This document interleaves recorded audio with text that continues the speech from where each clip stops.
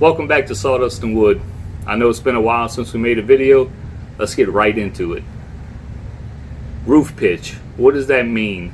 So when you hear someone say 612 or 312 or 812 or 12 on 12 or 6 on 12, however they say it, what that means is for every foot of horizontal run you have, if it's a 612 pitch, that that rafter is going to rise six inches per foot. So if it's a 612 roof, one foot footer run, it's going to rise six inches. Two foot footer run, it's going to be 12, and so on and so on. So, with that being said, how do you how do you figure that out? So, what I did was I cut. This is a 612 pitch roof. I cut two rafters. This board right here is two foot, so one foot is the middle. So I cut two rafters, and I didn't put any overhang. I cut the tails off of them. There's a couple different ways you can do this. You can do the step off method, where you go 6 and 12, mark your line, mark your back, and that will give you the perfect step off. Or you could look in a roof framer's Bible or any rafter book, and I'll show you for a 612 pitch roof. Let me get it in here. For a 612 pitch roof. So since that's two foot, you do, you take half of it, so it'll be one foot a run, and it tells me the common rafter length is going to be 13 and 3 eighths. 13 and 3 eighths for one foot a run. So let's measure this rafter I cut, and I'll show you.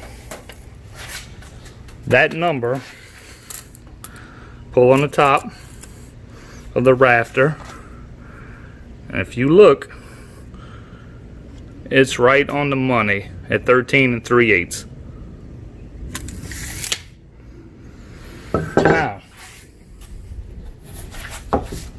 where does this book get this number from? You might be wondering that. How does this book know one foot a run? How does it know this 13 and 3 eighths? I'll show you how easy it is to figure out. You really don't need this book. It's a good reference. But if you take your framing square and you put your tape measure on the 12 and on whatever pitch roof you want, like so. 12 on 6. You can see right here. I don't know if you can see. Let me let me walk around so you can see.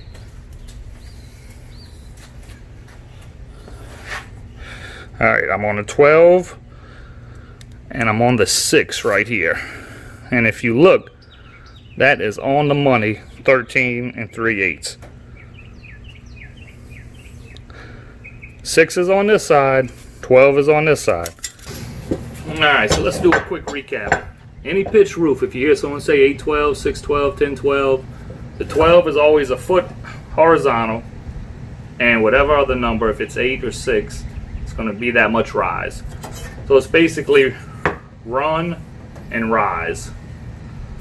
And this framing square does all the math that this book gives you or any calculator gives you right here. That's why this is such a good tool to learn how to use.